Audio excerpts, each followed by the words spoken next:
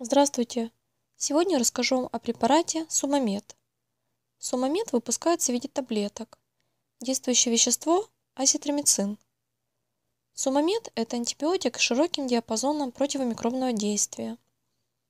Показан при инфекциях лор органов, бактериальном фарингите танзелите, синусите, среднем отите, при инфекциях дыхательных путей, бактериальный бронхит, негоспитальная пневмония – при инфекциях кожи и мягких тканей, такие как мигрирующая эритема, рожистое воспаление, импетиго, вторичные пиодерматозы, инфекции, передающиеся половым путем, неосложненные генитальные инфекции, вызванные хламидия трахоматис. Таблетки сумамеда предназначены для приема внутрь.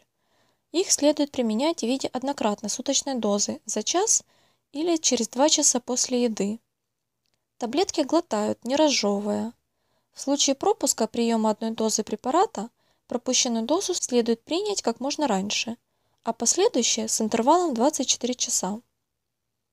Нельзя назначать сумамед при аллергии на антибиотики группы макролидов, тяжелых нарушениях работы печени и почек.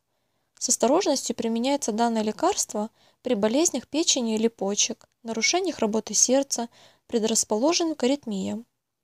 При беременности – это лекарство можно назначить только тогда, когда необходимость лечения женщины превышает риск для ребенка, по мнению врача. Данный антибиотик выделяется с молоком, в связи с чем он не применяется при кормлении грудью. Спасибо за просмотр, будьте здоровы! Ставьте лайки и подписывайтесь на наш канал.